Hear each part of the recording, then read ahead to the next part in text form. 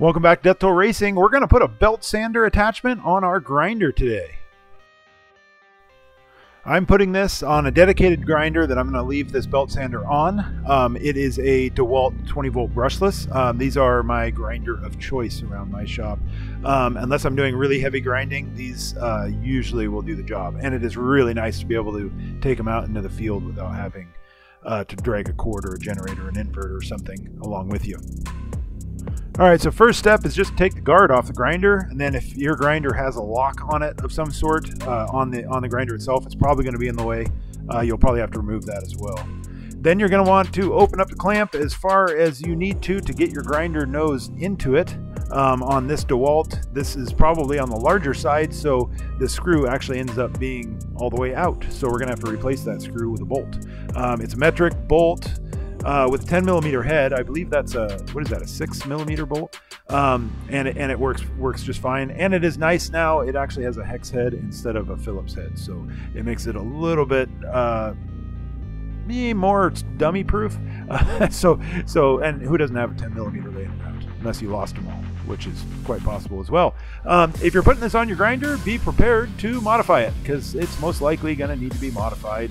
Um, and in this situation, you can see the drive wheel is sticking out farther than the idler wheels on the uh, attachment itself. So we are going to have to shorten that thing up so that we can get it to thread on a little bit farther so that the belt is running straight on there um, and not trying to run uh, diagonal.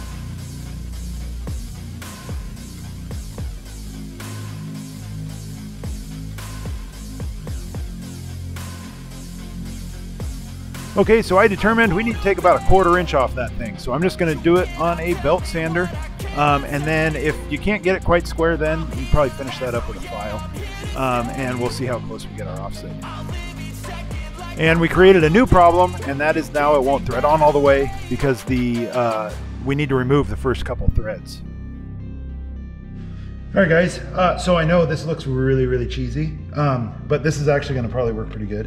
Um, and yes, I actually do own a lathe, but most people don't. So that's why I'm doing it this way.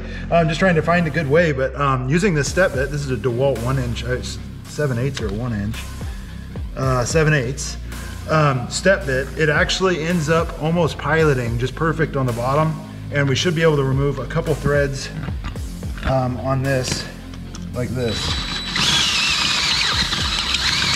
We just need to get ch the chamfer back since I just ground it all off. Um, and once we're all done and we get this thing so the offsets are right, we're gonna file that um, and try to file it as flat as possible.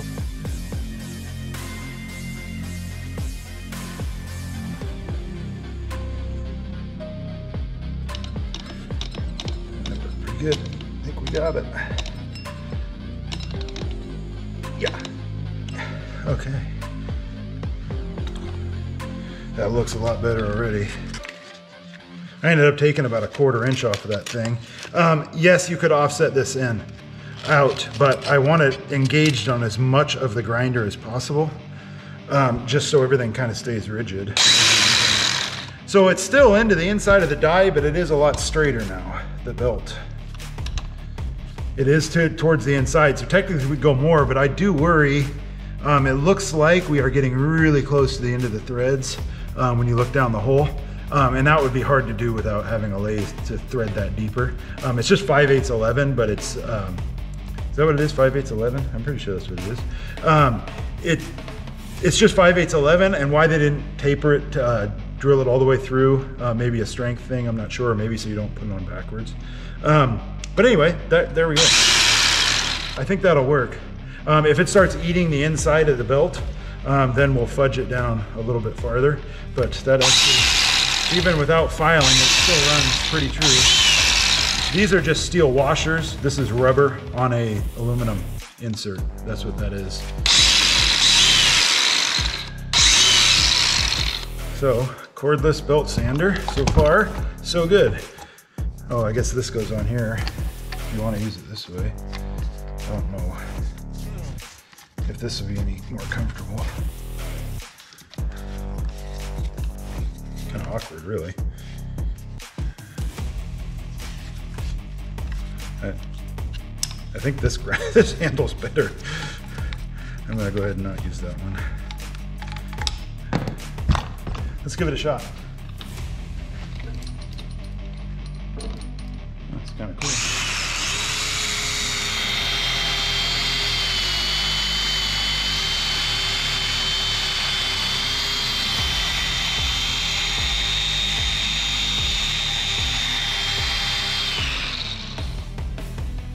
All right, I'm not gonna lie, that actually is pretty sweet.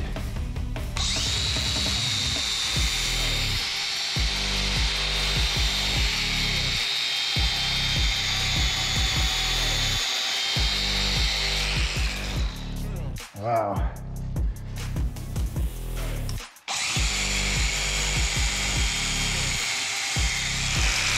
So it's actually not as hard to use as I was expecting. I was expecting it to kind of torque.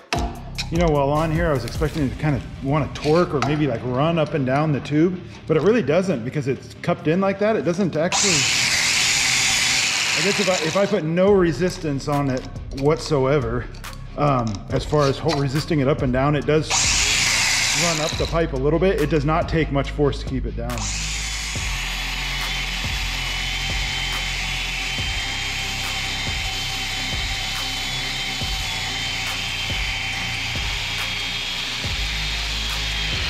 Another thing, it is not that sensitive having it one way or the other. It doesn't make the belt try to crawl like crazy or anything. Um, I thought it was going to be really sensitive again uh, about how straight you put it on there, and if you're crooked at all one way or the other, I thought it would really matter, but it really doesn't.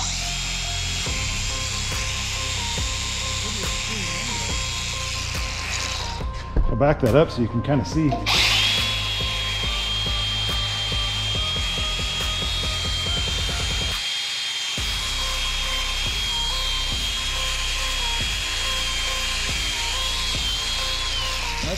That's, pretty cool. I'm actually really digging that.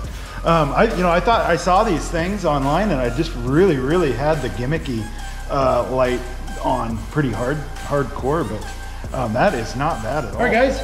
Honest review time, bullet point style, real fast. On the clamp ring, there's only four tack welds, TIG weld tack welds, no filler. Um, I have a sneaky suspicion if I were to drop this thing, it, it may break off. Um, under normal usage, it doesn't seem to flex even when I push on it as hard as I can, uh, as hard as I can without overpowering it. Um, it doesn't flex at all, so it's it's not like a concern of it failing. But if you drop it, uh, it may break off. But it is just steel, and so is this. You just tack it back on, not a big deal. Concern number two: these wheels are made of plastic.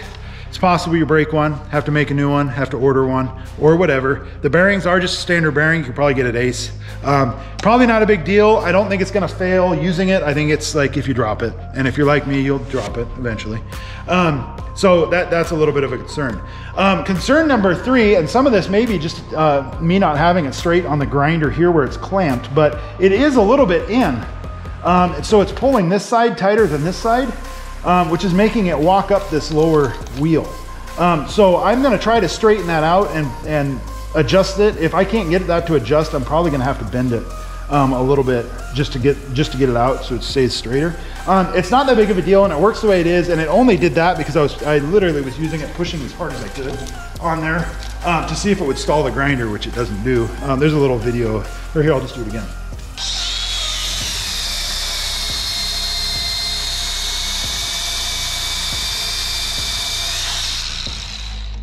Woo!